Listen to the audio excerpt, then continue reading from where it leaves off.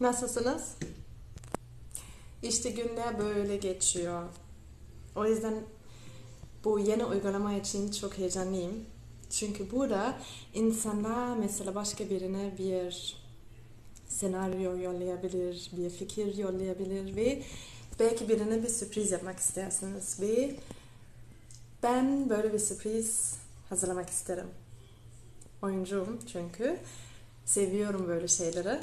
İsmim Vilma Ellis ve bakalım neler yapacağız. Çok sevgiler.